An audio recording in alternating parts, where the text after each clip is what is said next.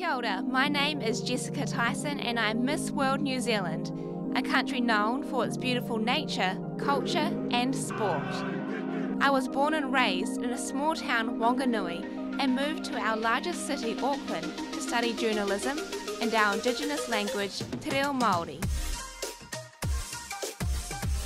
I work as a news reporter and presenter at our Indigenous television network, Māori TV.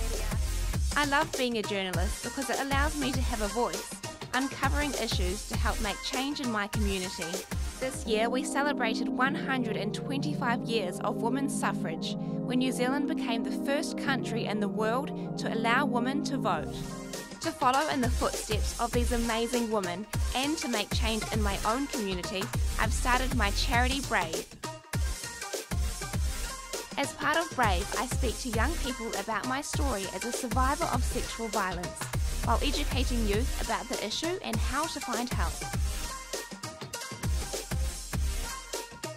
It has been a dream of mine to take part in Miss World, and I'm truly honoured to represent my beautiful country, Aotearoa, New Zealand.